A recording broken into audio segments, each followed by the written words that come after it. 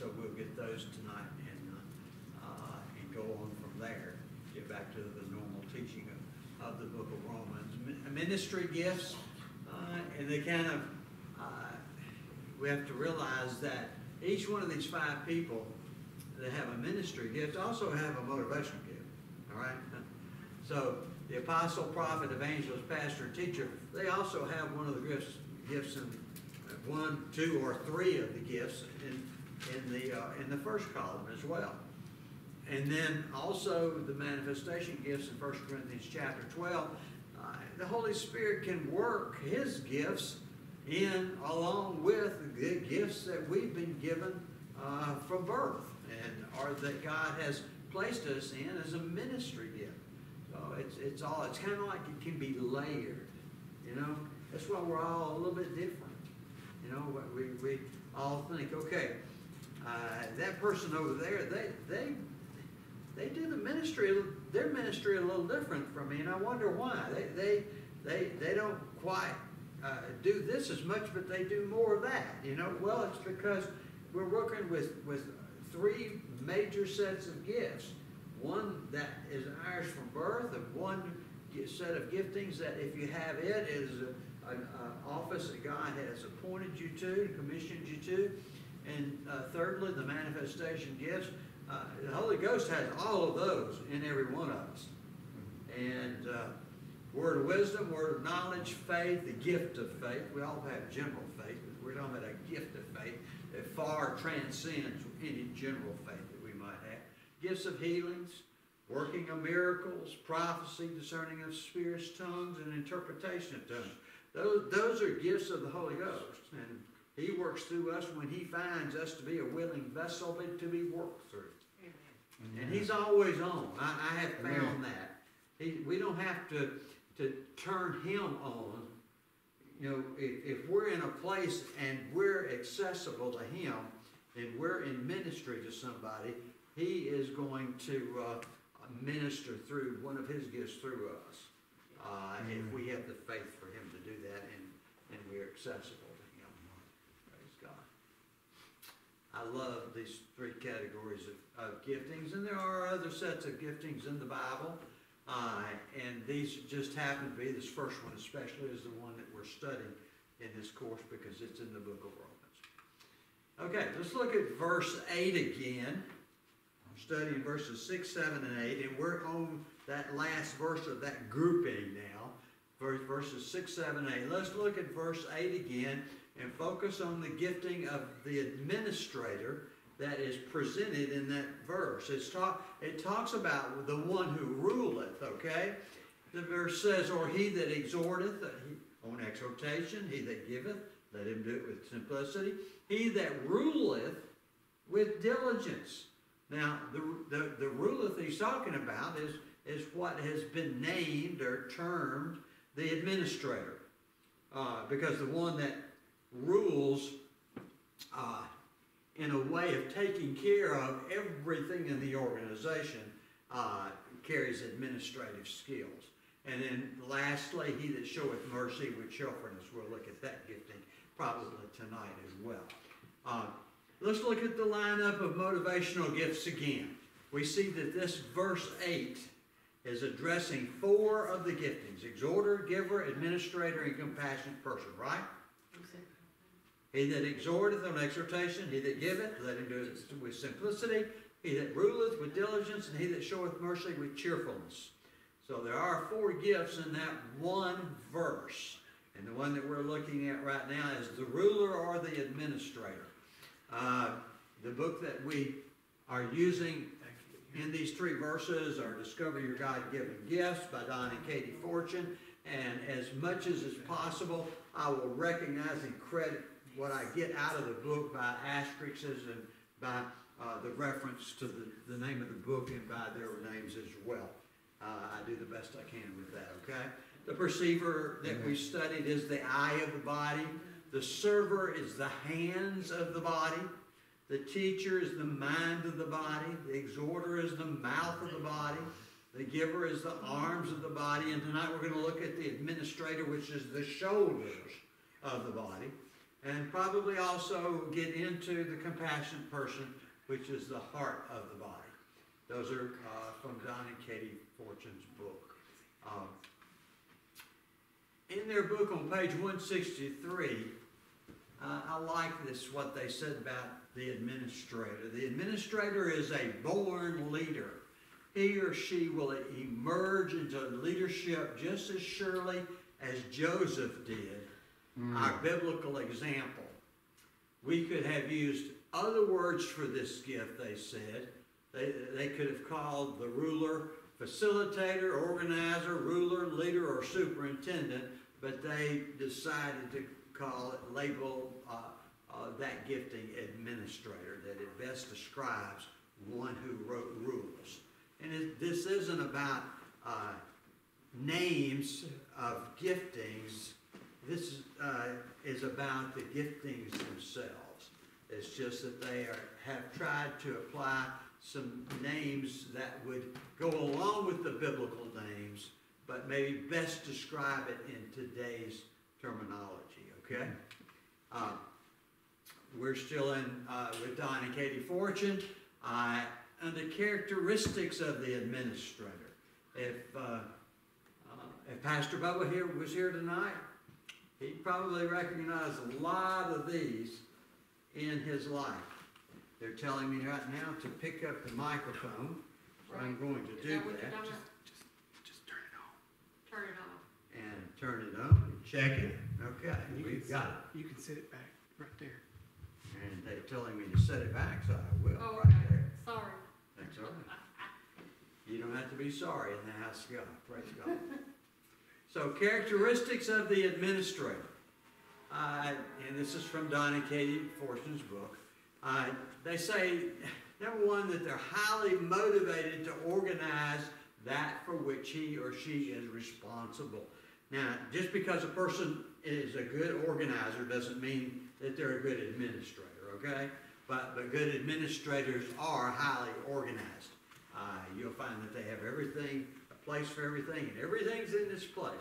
They have, they'll have uh, uh, duties, list of duties, and they'll have somebody that's that been delegated or, or, or, or has volunteered to do that, and they expect them to be there and do it at the time that it's supposed to be done.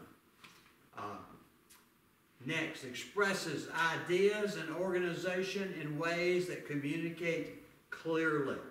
Uh, they're able to describe what needs to be done. They're a good communicator. They, they can describe it visually, and they can also put it in written form as well, which you have two different type of people. You have people that are visual learners, and you have people that learn from reading. And so uh, a good administrator can communicate in both areas usually. Um, the respects and handles authority well. You'll find that they, they just have a knack for walking in authority, not walking in a, in a place of I'm in charge here, you know, but just a, a, a natural uh, authoritative position. Uh, and nobody is pressured uh, that is working under them. A true uh, a, uh, person that's walking in, uh, in that type of authority. They respect and handle authority well. But in addition to that, they will not assume leadership unless it's delegated by those that are in authority. If there's someone in authority over them, then they are going to come up under that authority. And they will never use their authority to try to overwhelm or disrupt or distract from the, the, the, the number one authority, okay? Uh, authority in the church, authority in spiritual matters, it's always necessary for each one of us to walk under the authorities that have been placed in our life. Do y'all agree with that? Amen. That's a good Yeah. place for an amen? Yes. Uh, they will assume leadership where no specific leadership exists. Okay? I mean, it, it uh, you'll find, okay, let, us say outreach, for example. And we come in and not everybody's here yet. Nobody knows what to do. You know, I mean, it's, it's the administrator, somebody with administrator qualities is probably going to say, folks, we, the, the, the leaders aren't here yet for some reason, they're just running a little late. We need to go ahead and be doing this. We need to be putting these bags in the, in, the- in the cars, in the trucks or whatever, okay? They just go ahead and they assume leadership when leadership is not there, doesn't exist. They especially enjoy working on long-range goals and projects. Uh, I, I asked myself, do I, I like working on long range or short range? I don't know. I like to see quick accomplishment myself. I don't know. I, I, I you know, it's something that, that, carries on and carries on for days and weeks and months and maybe even years uh, before you see the, the, the, the results. I'm a pragmat, pragmatist and I, I, I, I, I'm very results oriented. And so I like to see those results quickly. So the exhorter gift in me is way down the list, okay? I'm not saying it's not there and I don't benefit a little bit from, you know, uh, uh, it being in my life, but it's, it's not my primary gifting, uh, by, uh, any stretch of the imagination. But administrators enjoy working on long-range goals. An administrator is a visionary person with a broad perspective. Uh, they can see God, they can see God's plan for a long way off and they can see the scope of it. And there may be details that they don't see, but they can see enough of the plan to get everybody moving in that direction. Uh, it's uh, and with their leadership qualities, people will get behind them and will uh, will begin to follow their leadership. Uh, there's when we when we look at, at churches, there's one problem with the vision of the leader of the church, who is usually an administrator to some degree, and that's that uh, those that don't have their own vision, God-given vision, can readily accept the vision of the leader of the church. You, you know, it used to be all the time, catch our vision. You know, go where we're going, you know. Catch the vision of the church. Nothing wrong with that at all. But the only, the only issue is if the guy that on the third row, God has given him a vision for ministry, his own ministry, mm-hmm. and it has nothing to do with the ministry of the church, mm-hmm. then he, it's going to seem like that he is outside the parameters of, of being under authority because he's not going to be able to catch the church's vision. He's got his own vision.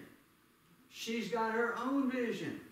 Now, granted, the majority of the church uh, are not in that position. Only those that are called of God for a specific ministry that's really outside the box, outside the, the four walls of the church, okay? And that's the reason they have their own, uh, their own vision. And, but we need to recognize that uh, as a church, we need to recognize those ministries that have visions for that are outside of the box, that are not, uh, they're outside of the vision of the church. Uh, and, and we, I think, those of us in this room understand what I'm talking about. Mm-hmm. Amen to that? Amen. All right. But that uh, administrator is a visionary person with a broad perspective. This is where we're going. and it looks like this is how we're going to get there.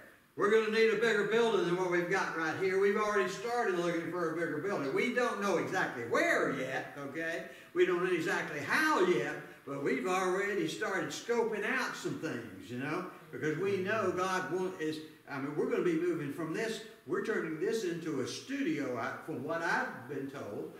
This is going to be turned into a studio, and uh, uh, for uh, those that are in the music uh, part of ministry in the church.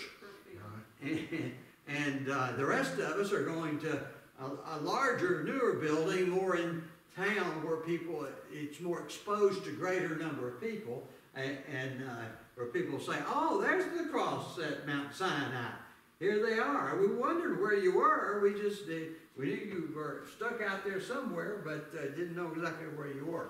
So our church will grow because of that vision. But there are other visions in the church that don't have anything to do with the general vision of the church. All right, easily facilitates resources and people to accomplish tasks or goals. An administrator generally can see the motivational giftings, even the ministry giftings sometimes, of most people in the church, okay, after he's been around them a while. Now, if he's, if he's well studied, he or she is well studied in giftings, they ought to be able to apply that knowledge of who's gifted how to the slot, the job that needs to be done within the church, all right? Uh, that's why it's so important for all of us to study giftings, uh, especially motivational giftings. Wow. Um, they put the people, they match up the people to the task and the goals, and it's easy for them to do that. And since the people are under their authority, they can facilitate that very easily. Uh, enjoys delegating tasks and supervising people.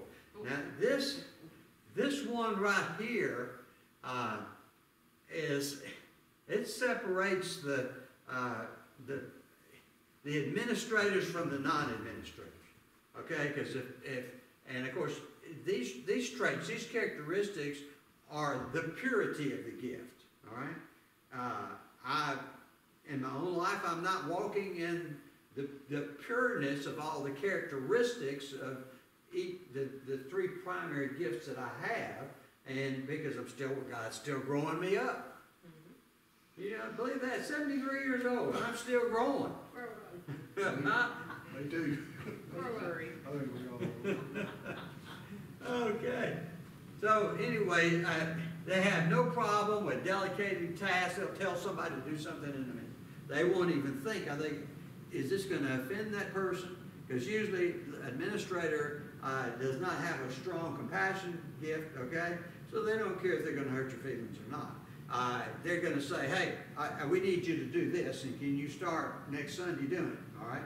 And, uh, and supervising people, uh, it's, it's something that they enjoy doing because it's easy for them. It would, that part would be difficult for me, because my compassion, my strong compassion gift would tell, on the inside, I'd be thinking, now, a- am I gonna look like I'm trying to control them? Or is it gonna offend them? Is it gonna hurt their feelings? You know, if I tell them to, uh, you know, you go bring three chairs up from the basement and set them back there for the guests that are coming in, is that gonna hurt their feelings, you know? And I, I, it, that's where our giftings play a difference in everybody. Hmm. Okay, they will endure criticism in order to accomplish the ultimate task. Well, if y'all remember my list of giftings, administrator is next to the bottom. because I do not like criticism. And I, I, I mean, it, it, it, it will distract me from the ultimate task to be criticized severely, especially those, uh, those criticisms from my peers, uh, those that are my church family especially. Uh, has great zeal and enthusiasm for whatever he or she is involved in. They are kind of like the exhorter in that way, they get excited. They, they, they see what God is doing, they want to get it done, let's go for it, praise God. Hallelujah.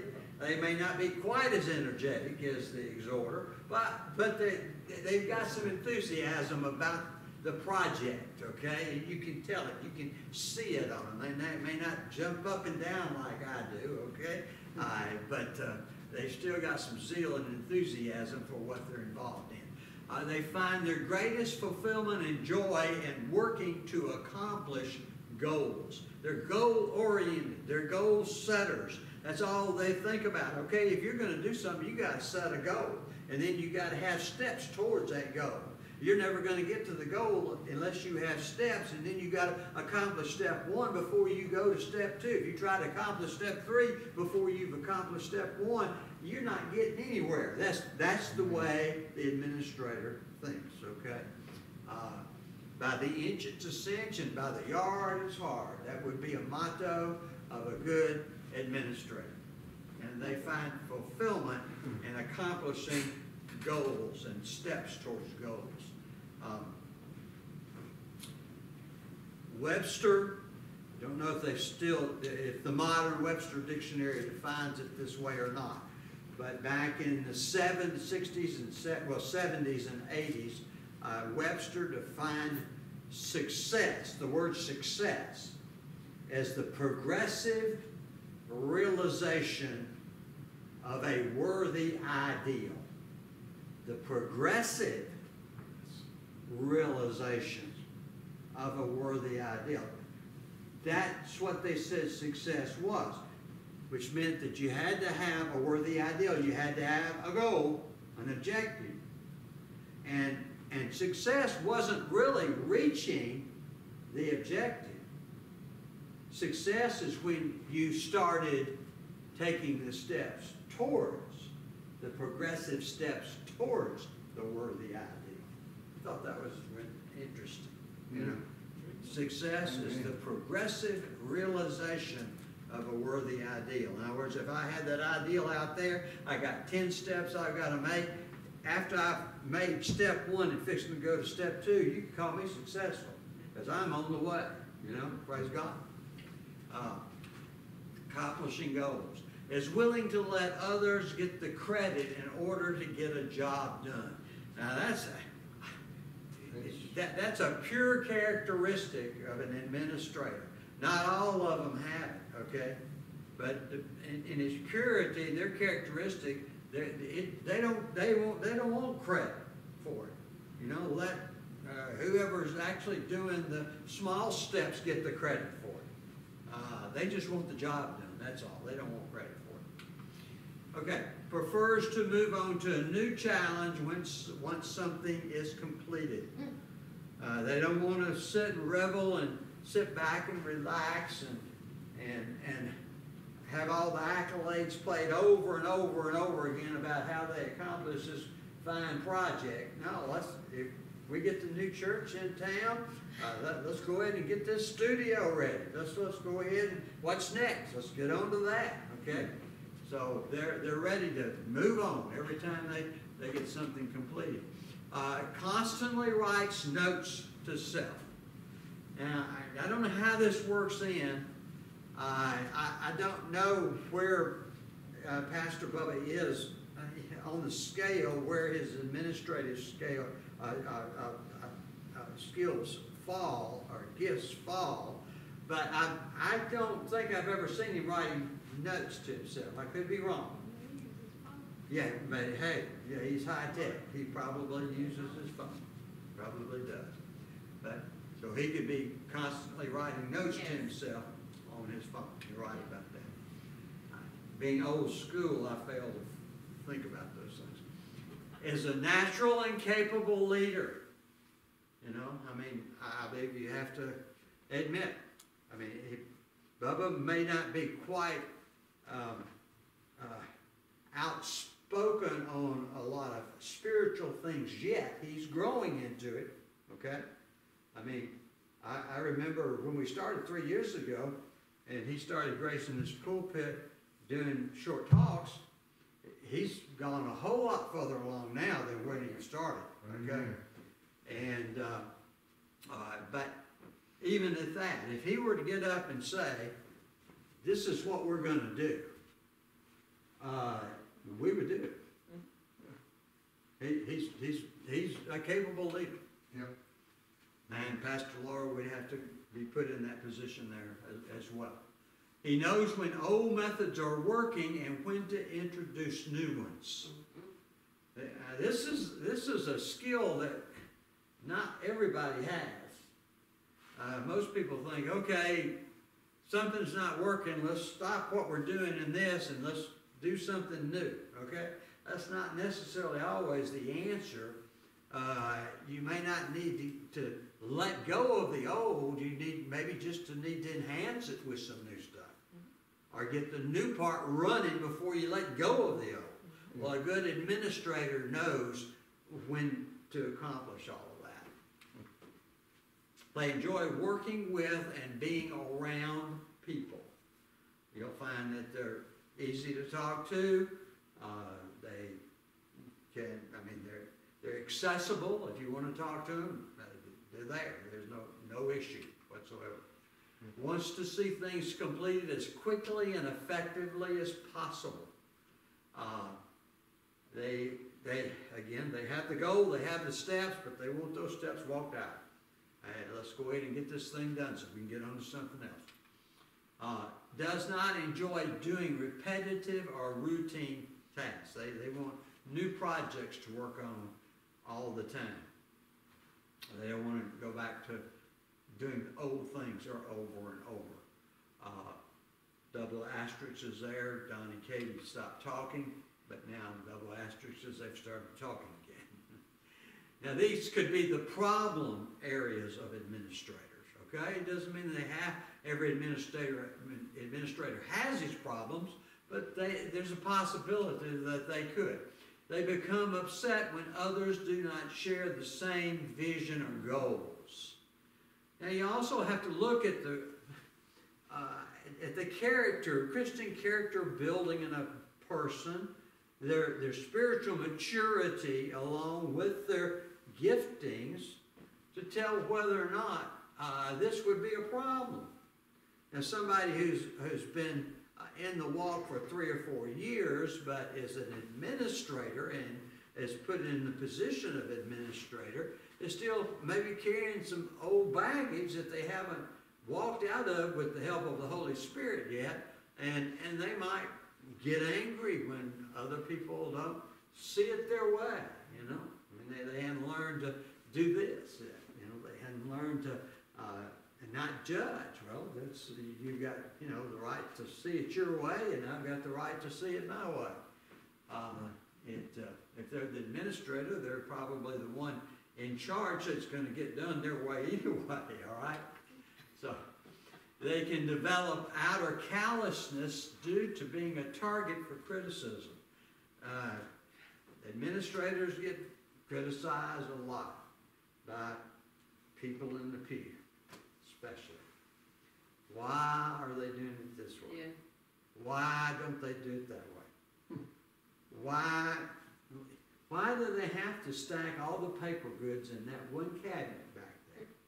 You know, everybody goes walking down that hallway, sees toilet paper on, uh, you know, through the glass front of the cabinet. Why don't, why can't they put the toilet paper, some, all kinds of stuff? We went to a church one time where the pastor had a complaint against the, type of toilet paper they used in the in the in the uh, ladies' bathroom.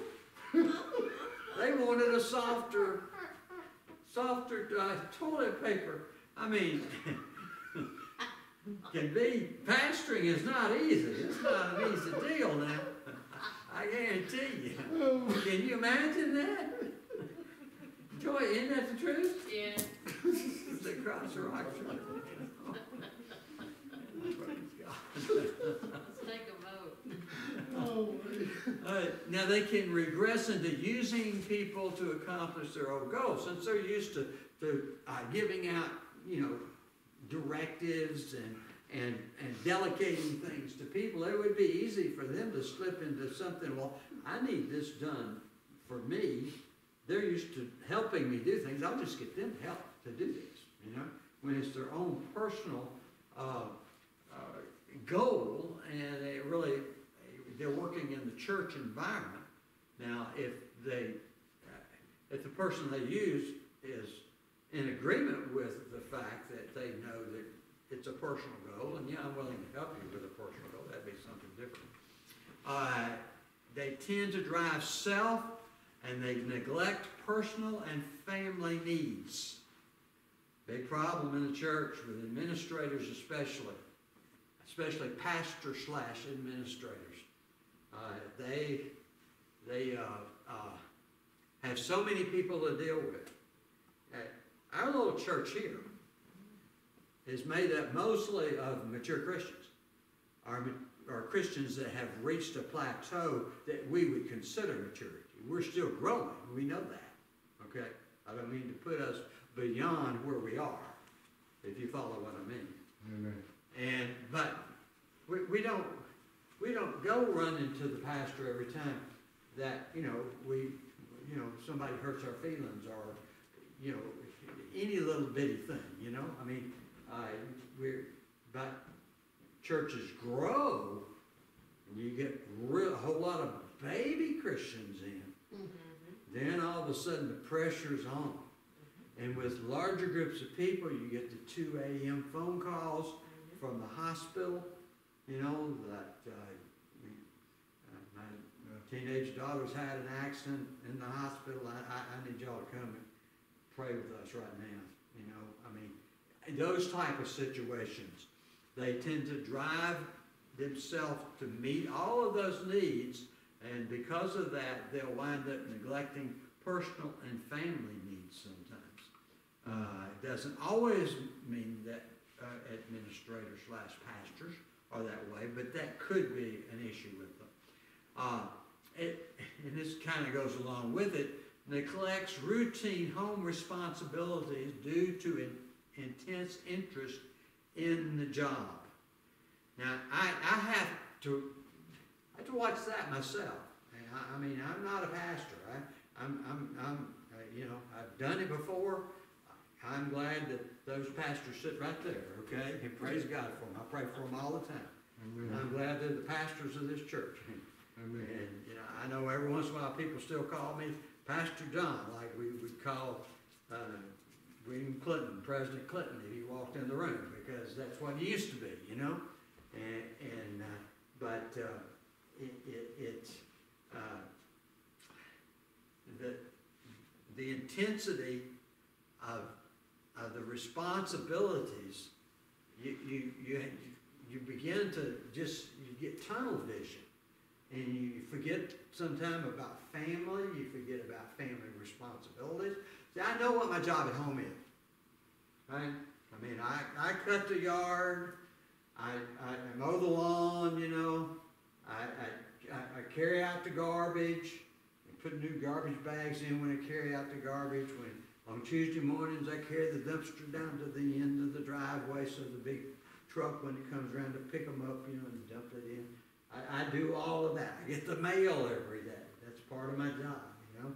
And, and I, I know what my job, job is.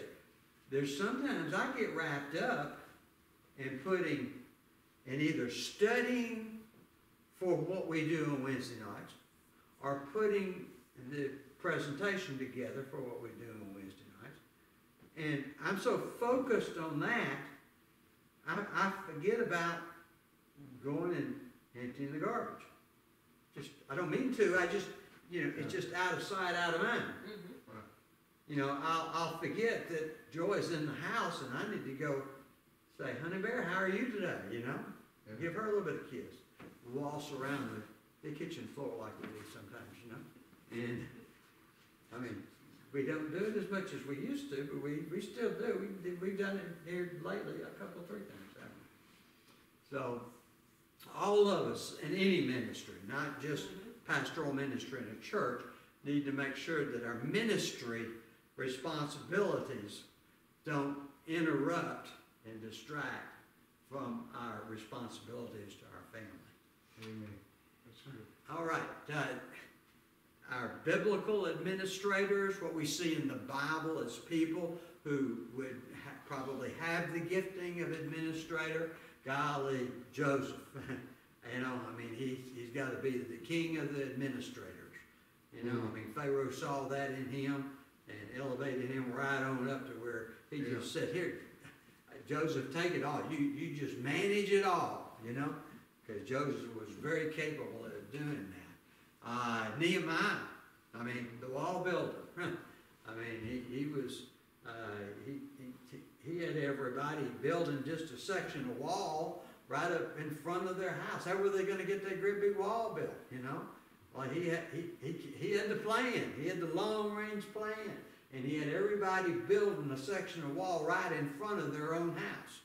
And so eventually they got it all built. He didn't even have to organize people and tell them where to go to get it built. He said, just build in front of your house and we're going to get it done.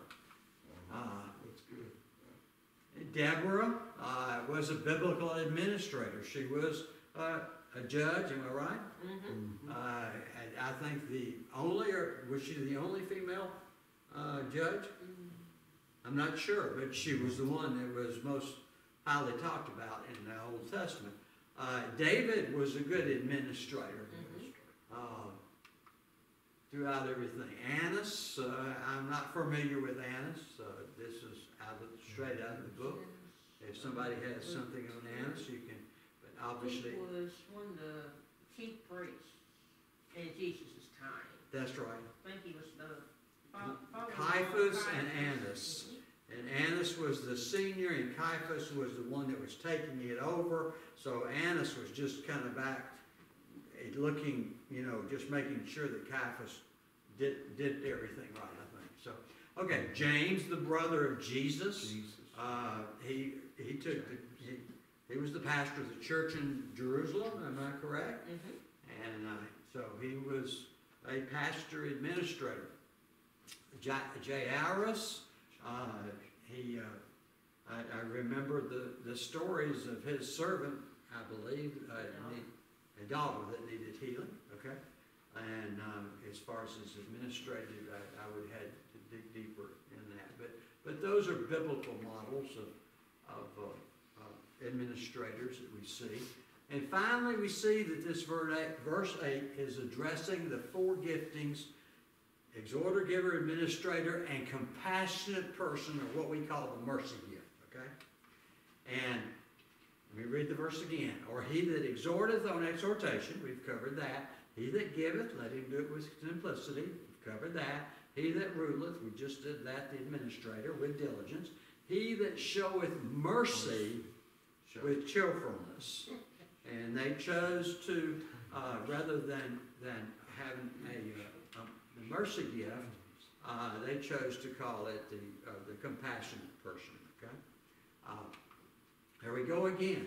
I, I'm throwing that list in front of you for nothing but just repetition for recognition's sake, okay? The perceiver, server, teacher, exhorter, giver, administrator, and now the heart of the body, which is the compassionate person. Uh, Don and Katie tell us of all the gifts, that of compassion is by far the most frequently bestowed. How wonderful that this is so. They quote a song. He said, What this world needs now is love, sweet love, as the song tells us. I don't know if y'all remember that that, uh, that song, it was back in my day. Maybe it's because so many people are hurting that God has created such a vast number of compassionate people. And we're not talking about the compassion of Jesus. Every born-again Christian has, has somewhere inside his spirit being the compassion of our Savior, okay? But this, this is a gifting of mercy. This is a gifting of compassion that transcends that that we have of Jesus in our uh, in our being. Uh, that's almost one third of the population, thirty percent. We have elected to use the word compassion rather than mercy because the latter can carry a negative connotation of weakness. And a compassionate person may seem weak, but they're anything but weak. Okay, and, and thirty percent. That means three out of every ten people in the, the pew, sitting in, sitting in the pews, have a mercy gift, have a compassion gift. Their gifting is, is to love on people, to encourage people, to, to be a people person, okay? And that's what we need. Uh, characteristics of this com- compassion person. Uh, they have a tre- tremendous capacity to show love. Tremendous. I, I, that, uh, you know, I, I, compassion, it, it showed up third in my list of, of uh, no, second in my list of, profile that I took, uh, what, two weeks ago. And I, I can't say that I always have a tremendous capacity to show love, okay? Uh, maybe the purity of the gift I need to work harder in. They always look for good in people. Now, Joy I will tell you, I had, this is something that's been developing in me in the last, well, year to eighteen months. I've, I've been finding more good in people than I used to. I, I've come to a place where I, I'm not as judgmental as I used to be, okay? I began to think, okay, they have, they have problems, they're, they're, they're, they're trying to make their way, they're doing things, what they think they, how they need to do it. They may be missing it, it's not my job to tell them that they are, okay? Uh, my job is just to love them and look for, there's good in everybody, somewhere. You know, we may not think of- of some people, but there's good in everybody somewhere. Amen. I, I can tell you, I mean, I, I can, I can start complaining about somebody to her, and she said, yeah, but they're this, this, this, this, this. She always sees the good in people. Senses the spiritual and emotional condition of a group or individual. Uh, this, the compassionate person is a sensitive, what I call a sensitive. They, they, they run on their intuition, their, you know, we talked, uh, earlier in this course about imagination and intuition, and those are two gifts that, that are given to us by God. Eh, Both, all of us have imagination and intuition, and they can be developed, they can be enhanced. Some people don't use their imagination at all, you know? Uh, people who are creators, uh, people who design things, uh, inventors, they use their imagination a lot. Uh, people who uh, help people psychologically, and uh, uh, they they have developed their intuition to, to be able to understand what another person is going through. Those, those are godly properties, and uh, uh, so they the characteristics of the compassionate person is that they have developed that intuition to where they they sense the spiritual and emotional condition of, of a group or an individual. They go to, into a room and say something is wrong collectively in this room. You know, I mean, there's something not right here. Or man, these people got it all together. Well, you know, I mean, they they they are really flowing. Uh, they are attracted to people who are hurting or in distress. They're just going to gravitate towards them. Uh, the people who are uh, seem to have it all together, and and and and they're, they're you know they're up on the scale a little bit greater in spiritual maturity than some of the others because they've been through it a lot more. Um, those aren't the people that the compassionate person is seeking out. They're seeking out the down and out, the hurting, the ones that are in distress. They, they take action to remove hurts and to relieve distress and others. Uh, the giver does this. Uh, some, the server does this, but the compassionate person does it. I mean, it's practically their their mandate. I mean, to remove hurts and relieve stress in other people. Uh, they feel for those people. Uh, they're more concerned for mental and emotional distress than physical distress. Uh, there's two people, if there's one over here in a wheelchair and one over here that's standing but crying, they're probably going to go to the one that's standing and crying before, not that they don't feel for the person in the wheelchair, but they're going to go, they're, they're, they're, they're triggered by emotional needs. So they're going to go to the one that's crying and then go to the one that's in the wheelchair. Okay, they're motivated to help people have right relationships with one another. You know, especially if they come into a situation where, you know, there's, the, the person they're ministering to is, feels like they've been wronged by another person. You know, they, they try to, to, you know, uh, uh, uh, paint the picture that, you know, they, the other person maybe didn't mean it quite the way that it was, it came out, how it happens. Uh, they love opportunities to give preference or place to others. They don't take any credit for themselves. They don't want any any position for themselves. They want to give it all over to other people and tell everybody how great that other person is, right? Uh, is careful with words and actions to avoid hurting others. Compassionate people are very, very strong. Uh, easily detects insincerity or wrong motives. Um, yeah. I mean, Joy, Joy, it- well, she's a perceiver, but she's a compassionate person as well. Yeah, And man. she can, she can tell me, John, you, you got, you got wrong motivation there, your agenda, you need to look at that again, you know? Okay, they've drawn to others with the gift of compassion. Birds of a feather flock together, mm-hmm. especially with this gift. okay? I mean, they'll get together and they'll hug on each other and love, and then they'll say, okay, who can we go love on? All they want to do is love on you. Come on, hey, love on you, love on you. I, I gotta love somebody. I gotta love somebody. Come on, come on over here. We gotta hug now. Can't, can't let you get out of this hugging. Remember the, the, the, the, the, the first time I got hugged, I think. Her name was Shirley. And it was Happy Church. Yeah, Memphis.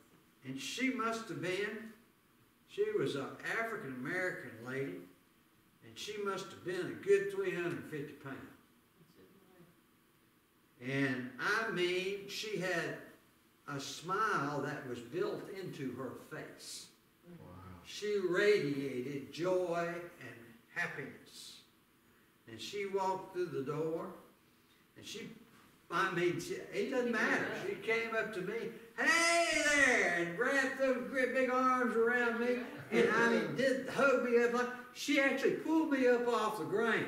You know, little me, that 350 pounds of her, ain't, it just pulled me right up off the ground, just shook me, you know? And it wasn't any bad things, it, I, I just felt love all over her, you know? That's all it was, Praise the Lord. She engulfed you. yeah. Loves to do thoughtful things for others. Oh, they, they just get off on it. I mean, it's, what can I do for that person? What can I do for that one over there? So, cheer them up, make them feel better. Yeah. Make them encourage, make, make them feel like they're, uh, there's somebody, praise God, hallelujah, Yeah. is trusting and tries to be trustworthy. They, they- they're gonna shoot straight with you, you know, they're, they're, they're, uh, still staying in the, in, in the line of these other things, trying to avoid hurting you, uh, and their actions, with their actions and their words, they're still going, that's gotta be a tight wire to walk, mm-hmm. you know? But somehow they walk it, all right? They, they, they're, they're, they're trusting and they're trustworthy.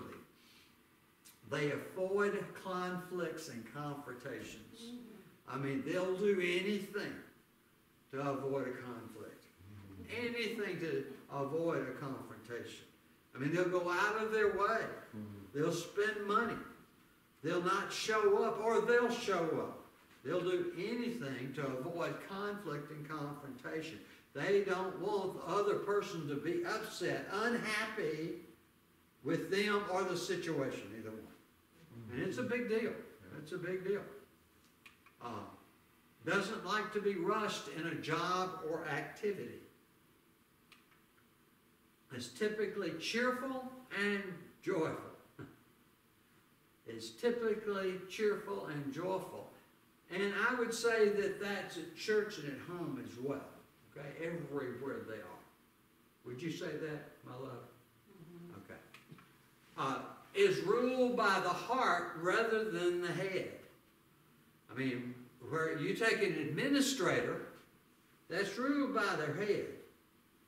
And they see a mercy person, a compassionate person, doing something, they would think, why in the world are they doing that?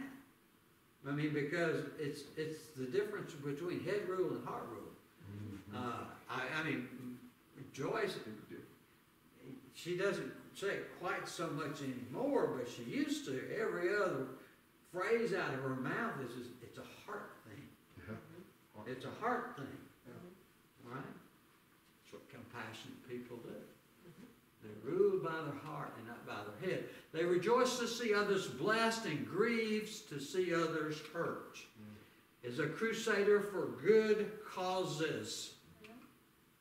Intercedes for the hurts and the problems of others. It amazes me. I, I used to get calls a lot. People wanting me to pray with them on the phone. People wanted counsel on the phone. What does the word say? I'm in this situation. And I, I don't, I guess everybody thinks I'm retired or something, I don't know. But, they, but her phone rings all day long. I mean, she's constantly talking to people and praying to people on the telephone, okay? She intercedes for them even when they hang up. She intercedes. So, there are occasions she even brings it to me and says, look, we need to pray for this, these, this person, okay? All right. Okay, there could be some problems. With all that we've gone through, we can see there could be some problems with the compassion person. Not that there always is, but they tend to be indecisive. Why would you think that? Because they don't, they want to please everybody. Yep. So, it, they've got to come up with a decision that is going to please everybody. Yep. So they're usually, their easiest thing is to not, to come up with a decision about it at all. All right? That way they can't hurt anybody's feelings. Hmm. All right? They tend to be indecisive. They're often prone to take up another person's offense. Now, Joy has learned kind of how to handle that, but it still happens to her, I think, from time to time when she sees somebody else hurt. She's not even involved. She sees somebody spoken to rudely or, or somebody acted against them in a bad way. She gets offended mm-hmm. as much as the person, even though she wasn't even involved. Mm-hmm. She gets offended as much as the person What happened today? that it was directed against. And they're prone to do that, to take up another person's offense. Hmm. And generally, uh, we found that the other person can forgive their offender, and they, they're all right. But the per, the compassionate person doesn't give up that offense as quickly as the one that was actually offended. Exactly right. They carry the offense against the offender For them to let it go. for a longer period of time. Not always a problem, but can be a problem with a compassionate person. They're easily hurt by other people. They're sensitive. Uh-huh.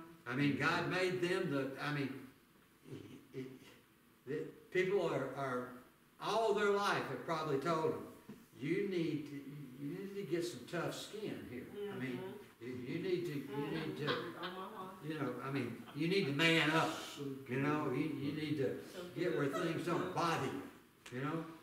And, but they can't, that, because they're gifting. They get hurt easily because they are sensitive. They run on an intuitive path that God has created in them. And they have enhanced that intuitive path. They've used it, they've developed it, uh, just like a perceiver has. And so they get, they're sensitive. They're so sensitive, they can, if, if they've got a perceiver in them, they can read what's going on in that other person. And, but they also pick up all of the little things, the hurts, the wounds, all of those kind of things, okay? So they're easily hurt by other people. They can empathize too much with the suffering of others. They go, they go, go home with it. They take it home with them. They, they take it to whatever they do while they should be doing something else at home. Uh, they, i- instead of, uh, uh, well, they- they're just involved with it. They- They should have left it there at the church or the counseling office or wherever it was and walked away from it, and they never should have taken it home. It's, they're, they're taking their job home with them is what's happening, okay? They can empathize too much with the suffering of others.